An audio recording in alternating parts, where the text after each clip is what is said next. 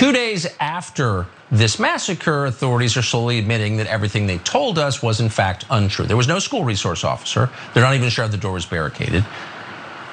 These matter, these questions. Okay, so oh, oh, Tucker, he's getting frustrated with the cops now. Fox News starting to finally realize after only their entire lives that cops might lie, that at official police uh, press conferences, you can't necessarily trust what they have to say. Uh, that has been true their whole lives. It's never bothered them before because they've liked the lies that cops have told. But now they understand that everybody is really angry about the Uvalde mass shooting and they're supposed to pretend for a few days that they're angry too And so we're gonna go into a little bit more of some of their hosts having an issue with all the lies. Here's a bit more of Tucker Carlson. So the point is not to point fingers or blame people. Nobody wants a school shooting. Everyone's heart is broken by it. But the authorities are not allowed to lie to us in the aftermath of an event like this. Even at the Parkland school shooting, when police staged outside as students were being murdered, police wound up inside the building 11 minutes after the shooter. But in this case, it was 16 minutes. Why was that? We have a right to know. But today, police wouldn't say. Was there a school resource officer who exchanged fire with the gunman? That's not something you would imagine. That either happened or it didn't, and you would know right away if it happened or it didn't.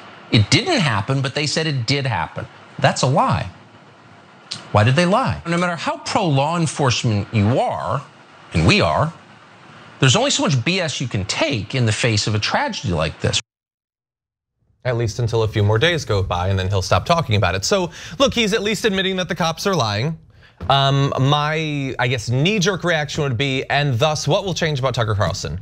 And his approach to policing or the funding of, of policing? What sorts of candidates will Tucker Carlson support and endorse in the future? What will their approaches to law enforcement or gun control be, will be?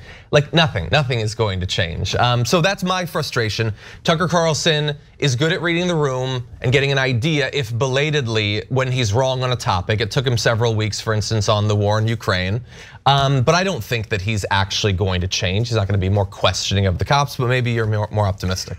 No, I mean, that would be ironic, but um, but no, I do see something breaking at Fox News. Like this, uh, apparently, there's a line. Uh, before we never saw a line in our entire lives from from the minute that Fox News went on air to now, there was no bottom to that barrel. Uh, but now several anchors coming out going, maybe all those dead kids is a slight, slight problem. Maybe we should do something. Maybe that cop who's obviously, obviously lying, maybe we'll report for the first time in Fox News history that a cop might have lied. And so. But wait, really fast though. His issue is that there might not have been an armed cop out the outside of the front door. Like he, like at the end of the day, what he wishes was true is the same stuff that all those other Fox hosts and Republican politicians have been calling for. Tucker Carlson, unless I've missed it, is not saying we can't trust these cops. This whole situation is crazy, and thus let's ban assault rifles. No, no, he just wants not. more no. armed people on schools. No, John, I totally get that, but we're not looking for like it overnight Fox News go, we were right, wrong. We're, now progressives. of course not, right? But the reason why this is important, we're gonna show you a couple more clips. The reason why this is important is because their audience, remember, does not watch any other media. So for their entire lives, that right-wing audience has been taught and brainwashed that cops are the most angelic, most honest people you will ever meet. So for the first time in their lives, they're hearing from right-wing media that maybe cops are liars, at least on some occasions. And that's a new thought for them. It introduces a new uh, concept, and that is the beginning of change. And I'm not giving Fox credit, I'm just pointing out, okay. even they couldn't take this. And you'll see more in a second. Yeah, I think you know, Fox is incapable. All of their hosts, their producers, the people who fund them, incapable of doing anything outside of their own self-interest. And I've been thinking, you know, what is their self-interest in actually supporting gun control?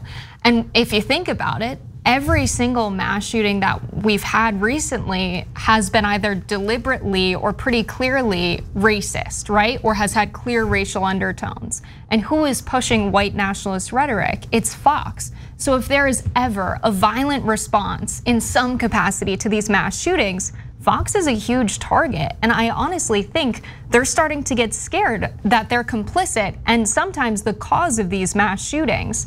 And also, I would point to guns in America being used to uphold white supremacy now and since our country's founding.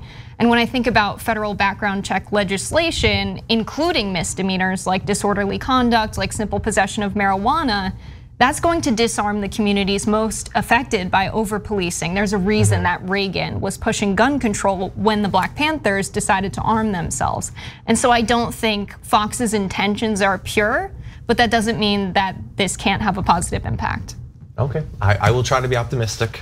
I will try to push out of my mind that Tucker Carlson spent the entirety of 2020 being perfectly fine with the cops brutalizing protesters in cities throughout America, breaking people's skulls and driving into crowds. And he didn't have an issue with Trump black bagging people and tossing them in the back of unmarked vehicles. And he was fine with them clearing protesters out of the front of the White House, battering people who were just playing guitars. He is one of the most active enthusiasts for a tyrannical police state. So I'm, I'm gonna take his newfound criticism of the cops with some massive grains of salt, some Ana Kasparian sized grains of salt. But in any event, he's not the only person at Fox. So let's go to a person who admittedly has been more reasonable more times than Tucker Carlson. This is Brian Kilmeade. The kids were bleeding. So the sooner you get in there, who knows what an EMT could have been able to do had they got in there quicker. And they're not trained essentially to handle this. And there's no excuse to leave that back door open. And there's no excuse to come out with some fable that they were engaged by a resource officer that was armed when that is flat out fiction. That is, that's not bad communication. That is a lie. And, and like I said, Brian Kilmeade, I think, is among the most reasonable people at Fox. My issue, even with that, is he is now identifying a problem, cops lying, that trains the audience to think a solution is more honest cops or more brave cops when those are not the solutions. The solutions are for the guy to not have an AR 15. Well, I could use some more brave cops too. And by that, I mean, don't train them to not ever risk their lives don't train them that their lives are more valuable than the citizens' lives. So that's how you get braver cops if you don't teach them to be cowards. Sure. So it's a start. And look, Brian Kilmeade's uh, no, you know, uh, lib either. I mean, by a long, long stretch, he's wrong 98% of the time. So wow, he's better than Tucker Carlson by a couple percentage points, right? Yeah. But this isn't about Brian Kilmeade or Tucker Carlson being good guys. This is about even Fox News apparently having a limit and going, well, I guess dead kids are bad. Mm-hmm. And I so and they obviously lied and they obviously didn't go in the building. Even we can't cover this up. Okay. Yeah, I think there are pieces of the problem that are being addressed by some of the legislations and solutions that are being, you know, produced at this time.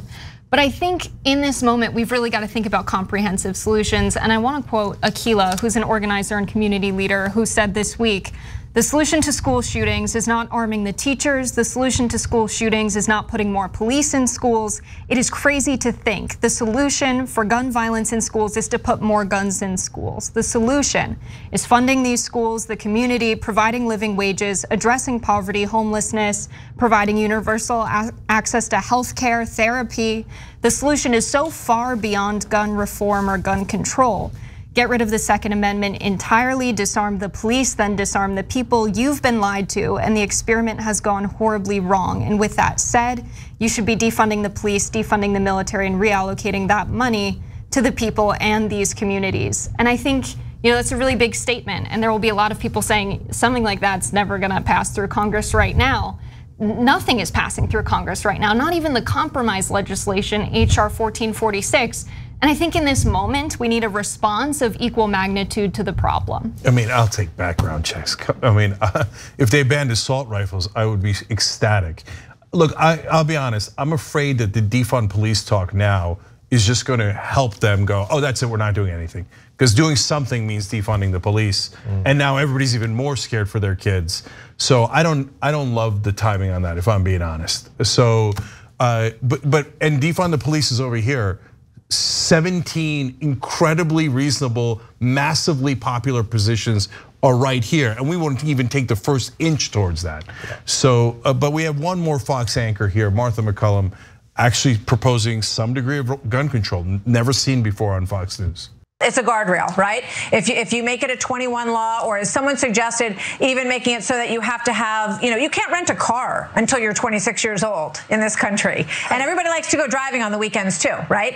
Um, but you can't do that. You can't rent a car until you're 26. Uh, another suggestion is to have an older adult of a certain age who comes along with you for the purchase of that gun uh, in order to have that background check done. There are there are things that will not take away anyone's freedom uh, and that might help to save some lives. And I think it's time for people to come together on both sides of the aisle and figure out what some of those might be.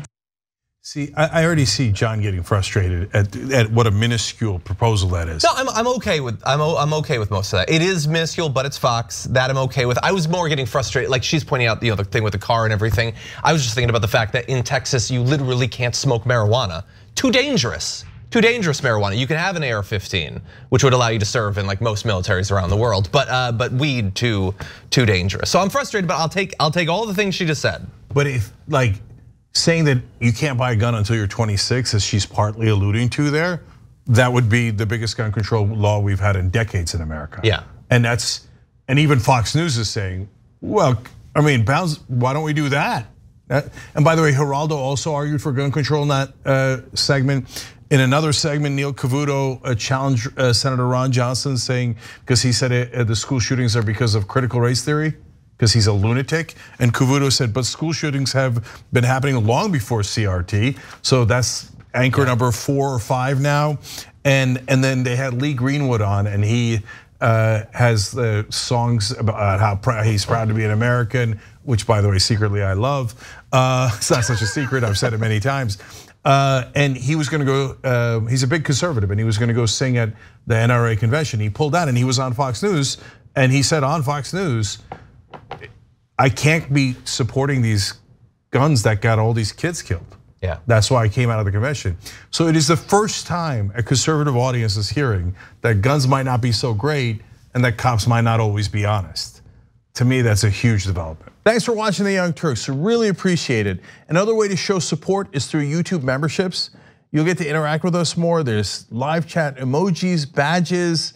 You've got emojis of me, Ana, John, JR. So those are super fun. But you also get playback of our exclusive member only shows and specials right after they air.